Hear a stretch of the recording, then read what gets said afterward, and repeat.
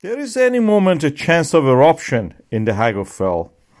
As the land continues to rise, this is the GPS data from the Skipastig uh, lava field to the west of the Svartsengi. As you can see, it has passed the threshold for eruption, even compared to the uh, previous ones.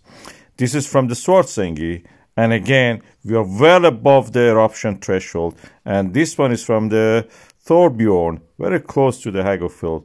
As you can this is the best uh, indicators are the ones which are completely around the Svartsengi, not exactly on top of it, like Hagafell, like uh, Thorbjorn or Svartsengi itself.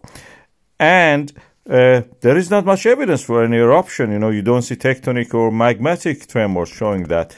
That was the case also for the January eruption. We had a sudden rise, and then again the land rise, and again fall and that was it. We had a bang. This is the MBL Iceland camera showing that they're all back now. So they were off, they're now back. We can see that there is evidence for the continued clusters of the earthquakes in the area of the Svartsengi.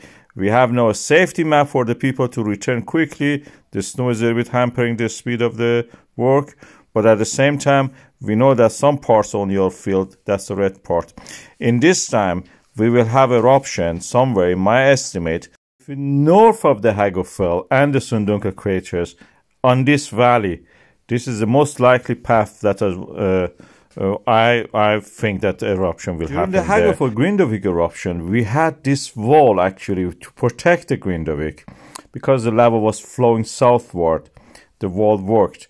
This time, the flow of the lava will be toward the north, towards the Svartsengi, in my estimate, and a little bit of it toward the older lava field on that peninsula that's near the, to the east of the Grindavik.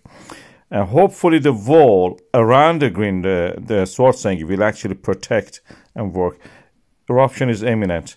It will happen soon. Quite soon, actually.